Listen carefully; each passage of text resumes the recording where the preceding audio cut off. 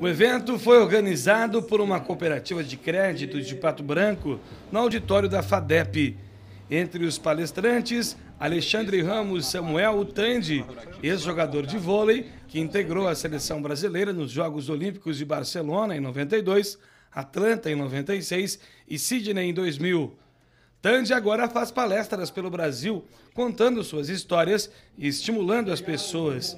Em Pato Branco, falou para um público jovem sobre suas experiências e protagonismo, apesar de muito novo. Acho que é fundamental eles acreditarem que eles precisam se movimentar. Hoje em dia, com essa velocidade do mundo, hiperatividade, nós temos aí a quantidade de pessoas cada vez mais revolucionando, empresas, inteligência artificial, startups, e eles fazem parte desse mundo, né? que não eram o meu mundo, mas a importância da gente estar em constante movimento.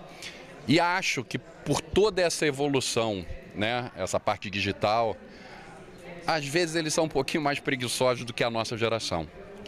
E eu sou acostumado a sair dessa zona de conforto o tempo inteiro, trocar o certo pelo incerto, me reinventar muitas das vezes.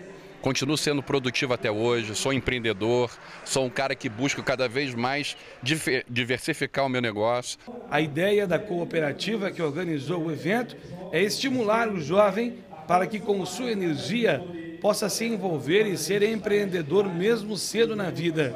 O Summit Jovem ele vem com o intuito também de fazer com que desperte o interesse do jovem a vir participar do Comitê Jovem, porque amanhã são eles que vão estar presidindo as nossas empresas. Tandy também foi questionado sobre o tema do seu novo livro, A Vida é um Jogo. Meu livro é o último filhote, né? É, falo que para um homem ser completo ele precisa ter filhos, é, é, escrever um livro e plantar uma árvore. Plantei árvore, tenho dois filhos lindos e faltava esse outro filho. Então, acredito que o meu legado está deixado, mas eu quero construir muito mais coisas. E a gente joga finais de Olimpíadas todos os dias, joga o jogo da vida todos os dias, e é isso que eu busco todos os dias quando eu saio da minha casa, entregar excelência onde eu estiver.